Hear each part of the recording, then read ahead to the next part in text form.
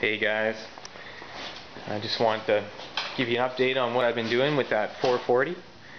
Um, as you can see, this is not the 440 here. Um, I've stripped down all the parts for that and um, pretty much utilized all the parts that I needed, the plastic that came with it, and um, um, use it on this sled. So this sled here is a, uh, let's see if you can see that. It's a 2006 MXZ Adrenaline. Anyway, a guy phoned me up, said that he he needed somebody to fix it, so I went over there and did an assessment on it and uh, told him the numbers and whatnot. He said, well, I'm more interested in just getting rid of it. So, I mean, the back end was totally think I've already done some work on this already, but um, was totally bent right in here. Well, if we can, I know if that's the right side.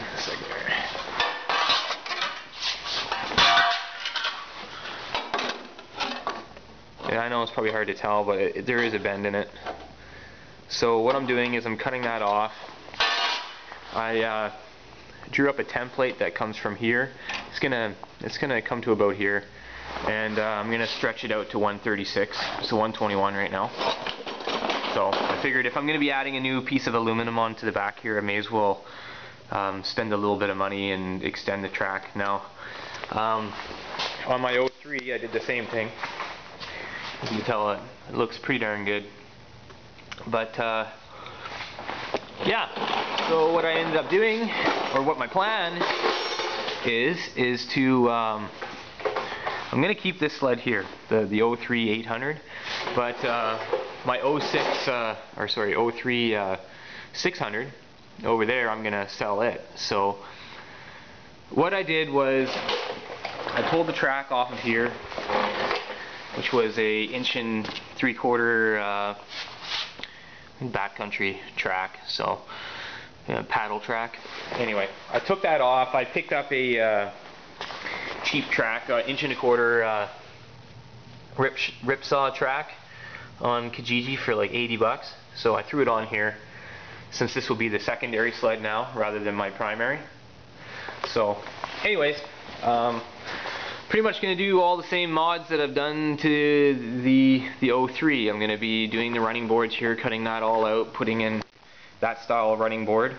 Um, taking all the clutching I touched I, I touched base with um, with Joey there, um, uh, the guy who uh, um, set me up with my clutching. He said that I can throw that all right onto this sled. So um, everything that's on here, which is a really good stock setup I've heard on on the 06s, I'm gonna throw that on the 03 and uh, take the setup that I have off the other sled and put it on here since I'll be getting a little more performance out of that. So um, really did get I got a decent deal on it. I mean, the motor only has a thousand miles on it. I mean, there's it's like it's like brand new. Like everything is, you know, still shiny. Even the plastic is still shiny. But I've done already quite a bit of work. Just take off the hood here, so you can see. Um, still got to get some brackets for that to hold that on. Um, this was all smashed. This this here was shattered. Um, parts of the nun were bent in some spots, so that was all um, redone. Um, basically just uh, went on Kijiji, found a bumper, found found the nose pan, um, and then the rest of the parts I pulled off of that 440. So I got uh, a lot of it already together. I'm just waiting on parts right now. So um, the exhaust can was totally bent, so I got a new one right there. So that all fits in there fine and dandy. Um, the speedo wire works, but um, the tach, um, the housing totally was shattered. It must have been a real cold day when this guy had had uh, run into uh, when he ran into that snowbank. So it must have been a cold day, and it just shattered everything. Mean, the light was shattered, the the um, that housing was shattered, the whole front end was totally done, and the Nun had some slight little bends where the the exhaust can rests on top on those bumpers. So I just stuck a pair of vice grips on them and bent them back up. I, you know, I felt along along all of them. They're all it's all straight. Um, it's all in really good condition. Um, the steering column had to be I had to replace a few little parts in there. The most part was good because uh, the handlebars were totally out of skew with with the skis. So straighten that all out. Um, there was a kink right here.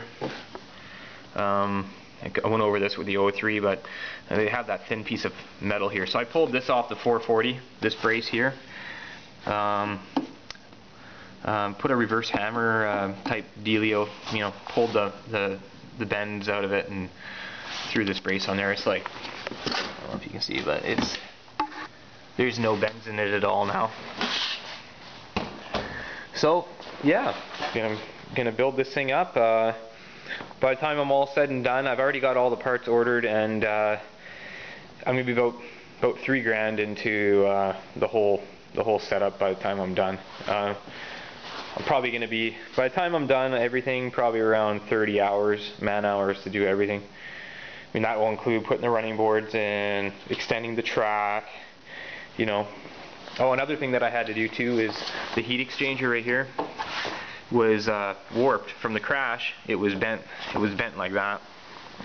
So I uh, threw a 2x4 on here and uh, a few clamps and I sniped it and bent it back straight. It doesn't leak, nothing like that. Like still good all that way.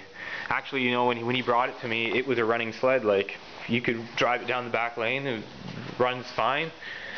Um, you know, other than the obvious obvious damage that I had with it. So yeah, I mean I've already uh, done some of the mods, a lot, a lot of the mods, putting the screens on the on the side panels and, and on the hood, and you know I've been looking for deals and stuff on uh, people parting out sleds, and I managed to pick up a lot of these parts pretty darn cheap. So um, yeah, pretty excited about this. Uh, should be pretty good for next year, and we'll have to say goodbye to the 600. And I know we haven't gone, or haven't gone over this this sled too much yet, but I totally rebuilt this sled too. But that will be another another video. So anyway, I'll be giving you guys updates as as to I get more more stuff done. I'm sorry I didn't get one out before as I was working on it. And like a lot of the stuff I've already fixed, so we're getting a lot closer to being done. Um, anyway, have a good one. Thanks for watching. Bye.